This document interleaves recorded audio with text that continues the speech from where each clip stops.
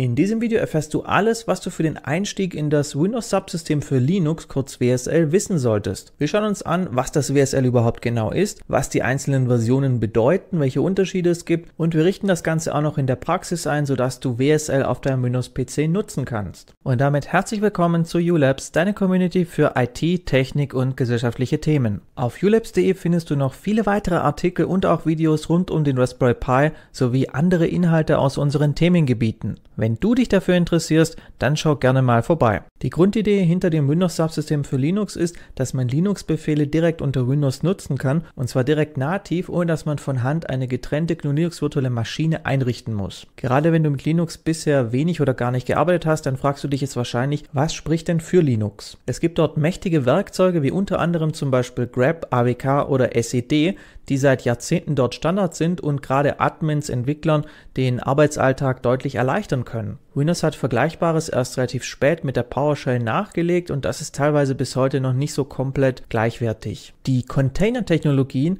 die stammen auch von Linux und laufen dort am besten. Die bekanntesten sind wahrscheinlich Docker und Kubernetes. Sie wurden erst später und teils bis heute nicht komplett portiert, weil das ganze Technologie vom Linux-Kernel ist. Das heißt, das kann Windows gar nicht so ohne weiteres nachbauen. Generell bietet Linux viel mehr Freiheiten. Man kann im Grunde mit dem System machen, was man möchte. Es gibt auch keine Lizenzgebühren, da muss man sich gar nicht drum kümmern, im Gegensatz zu Windows, wo die Lizenzierung schon ziemlich komplex ist. Generell ist die Freiheit des Benutzers und auch der Datenschutz dort sehr wichtig. Das heißt, es gibt kaum Daten, die nach Hause telefonieren, im Gegensatz zu Windows, was ja mittlerweile eine regelrechte Überwachungsmaschine geworden ist, wo man gar nicht mehr so genau weiß, was da alles für Daten gesammelt werden und wo die dann am Ende landen, auch durch zum Beispiel Verkäufe. Man könnte theoretisch jetzt sagen, man wechselt auf GNU Linux, aber die breite Masse, die scheut das aufgrund des Aufwandes und dazu kommt eben auch die Dominanz von Windows, die hat ja Spuren hinterlassen. Das heißt, man kann eventuell gar nicht komplett migrieren, weil es doch Programme gibt, die eben unter Linux noch nicht laufen, wo man dann noch ein Windows für braucht. In dem Fall bleibt nur beides parallel einzusetzen, zum Beispiel mit virtuellen Maschinen oder Dual Boot. Das ist je nachdem, wie man das einsetzen möchte, nicht ganz so komfortabel. Natürlich ist das Microsoft ein Dorn im Auge, denn die möchten ja die Leute bei Windows behalten und nicht riskieren, dass die am Ende zu Linux wechseln. Da aber Linux zunehmend immer noch wichtiger wurde, hat Microsoft 2016 beschlossen, wir müssen gegensteuern und erfand das WSL. Die erste Version war eine Partnerschaft mit Ubuntu. Man konnte damit Ubuntu in einem Konsolenfenster unter Windows ausführen, ohne virtuelle Maschine, wie es bisher üblich war. Dafür entwickelte der Konzern eine Kompatibilitätsschicht, quasi das Gegenstück zu Wine. Also Wine, damit kann man unter Linux Windows Sachen ausführen. Und hier ging es eben darum, dass man unter Windows Linux-Programme starten kann. Man konnte damit vergleichsweise ressourcensparsam eine Bash-Shell direkt unter Windows ausführen und darin grundlegende Linux-Befehle nutzen, wie zum Beispiel grep. Mangels echtem Linux-Kernel war das sehr eingeschränkt, man konnte eben nur bestimmte Befehle nutzen, viele Linux-Programme liefen dort nicht. Version 1 war also weit davon entfernt, ein komplettes GNU Linux in einer VM zu ersetzen. 2019 kam dann die komplett überarbeitete Version 2, die gab den Versuch, Linux komplett selber zu emulieren, auf.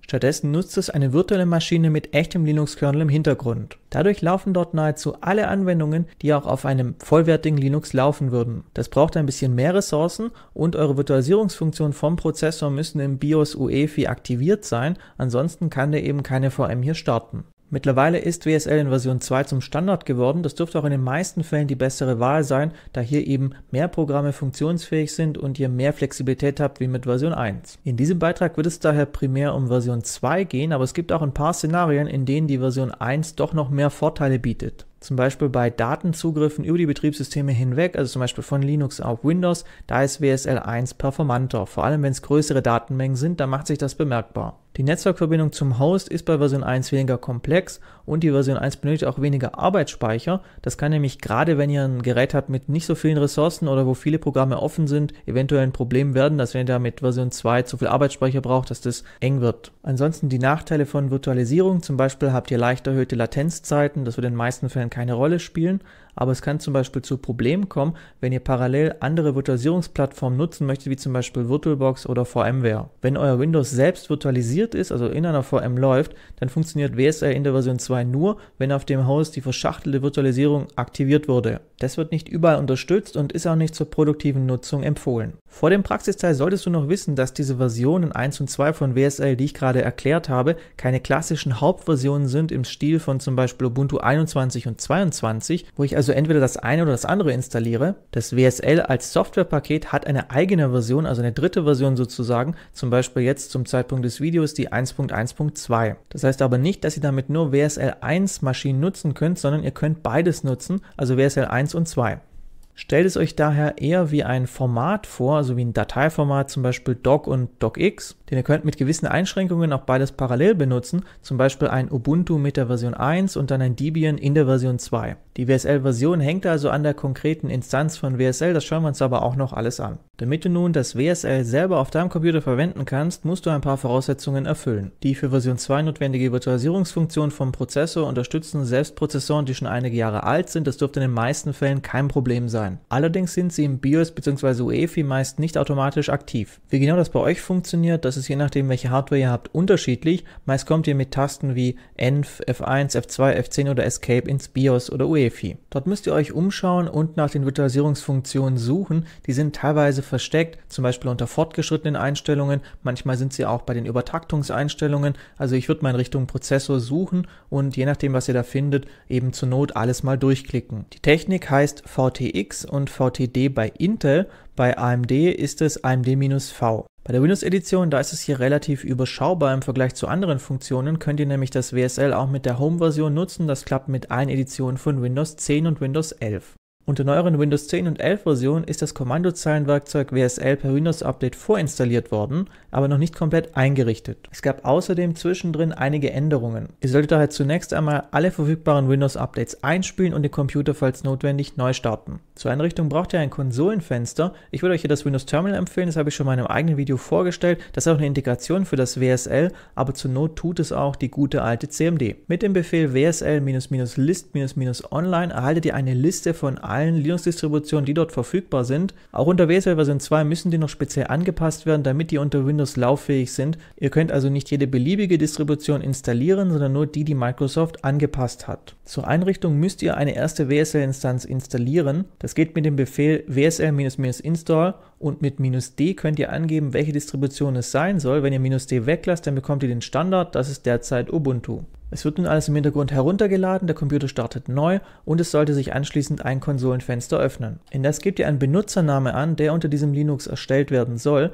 denn es gibt hier keine Verknüpfung mit Windows, das heißt, ihr habt dort nicht die Windows-Konten, die ihr von dort schon nutzt, sondern müsst dort eigene anlegen. Noch ein Passwort vergeben und die Instanz öffnet sich. Ihr habt jetzt hier ein nahezu vollwertiges Ubuntu oder eben die Distribution, für die ihr euch entschieden habt. Ihr könnt jederzeit auf die Instanz zugreifen, indem ihr in einer Konsole den Befehl WSL eingebt. Beim ersten Mal dauert das ungefähr 10 Sekunden, da im Hintergrund eine komplette virtuelle Maschine gestartet werden muss. Wie vorher erwähnt, gibt es eine Integration in das Windows Terminal. Dort könnt ihr über den kleinen Pfeil eine Liste von allen Instanzen einsehen und auch per Klick da einen neuen Tab öffnen. Weitere Instanzen können nach dem gleichen Schema wie vorher gezeigt nachinstalliert werden. Mit WSL-L-V bekommt ihr eine Liste von allen Instanzen, die derzeit auf eurem System installiert sind. Das Stern steht für die Standardinstanz, die wird automatisch geöffnet, wenn ihr bloß WSL eingebt. Mit "-d" kann wiederum eine bestimmte Instanz gestartet werden, wenn ihr mehrere habt. Eine Neuerung von WSL 2 ist die Unterstützung von grafischen Anwendungen, das heißt man kann zum Beispiel einen Texteditor oder einen Firefox oder was man möchte dort installieren und starten. Das klappte in ersten Tests auch grundsätzlich, im Detail hat man dann gemerkt, dass kleine Sachen nicht so richtig funktionieren. Was einem hier auch auf die Füße fallen kann, ist, dass das WSL nicht ab Werk Systemd unterstützt. Das ist zum Beispiel bei Firefox ein Problem, Problem, den gibt es als Snap, aber für Snap braucht ihr einen Daemon, der wiederum Systemd braucht. Das heißt, das kriegt ihr hier nicht ohne weiteres zum Laufen. Dafür müsst ihr einige extra Sachen einstellen, das habe ich schon mal in einem eigenen Beitrag gezeigt, verlinke ich oben. Bei WSL Version 1, da werden Programme direkt über die Emulationsschicht gestartet, also direkt aus Windows heraus. Bei WSL 2, da haben eben diese virtuelle Maschine, die beim ersten Start erstmal gebootet werden muss. Das Schließen von diesem WSL 2 Fenster oder auch das Beenden mit Exit, das beendet allerdings nicht zwingend auch die VM im Hintergrund. Das geschieht erst von Windows einige Sekunden später. Erst ab Windows 11 kann man diese Einstellung mit einem Parameter ändern, der standardmäßig auf 60 Sekunden steht. Das heißt aber auch, dass eventuell laufende Dienste wie zum Beispiel ein Webserver beendet werden und damit nicht mehr erreichbar sind. Die VMs werden unter Windows mit dem Prozess WMMEMWSL gestartet. Da könnt ihr auch im Task Manager schauen, wie viele Ressourcen die verbrauchen. Der Timeout und auch einige andere erweiterte Einstellungen, die lassen sich in zwei Konfigurationsdateien wahlweise systemweit oder auch für einzelne Instanzen anpassen. Hier kann sich eventuell ein Blick lohnen, wenn ihr da gewisse Sachen umstellen möchtet. Mit dem Windows Subsystem für Linux kann man zumindest ab der Version 2 schon relativ viel Linux unter Windows verwenden. Das ist sicher interessant für diejenigen, die eben noch nicht wechseln können oder vielleicht auch gar nicht wollen. Zumindest Docker kann genutzt werden, wobei man hier ein bisschen Aufwand reinsteckt checken muss, denn hier haben wir eben das Thema mit Systemd, was WSL noch nicht automatisch aktiviert. Mit einem der zwei Workarounds klappt das aber relativ gut. Falls es bei dir nicht so recht geklappt hat, dann schau doch mal in die Beschreibung, da ist der Portalartikel von ULabs verlinkt. Da habe ich noch ein paar andere Wege, wie zum Beispiel die händische Installation und ein paar andere Themen beschrieben, die dir vielleicht helfen könnten. Ansonsten kannst du auch auf ulabs.de die Community um Rat fragen. Ich hoffe, dieser erste Einstieg hat dir geholfen und ich wünsche dir nun viel Erfolg bei deinen Projekten. Tschüss, bis zum nächsten Mal.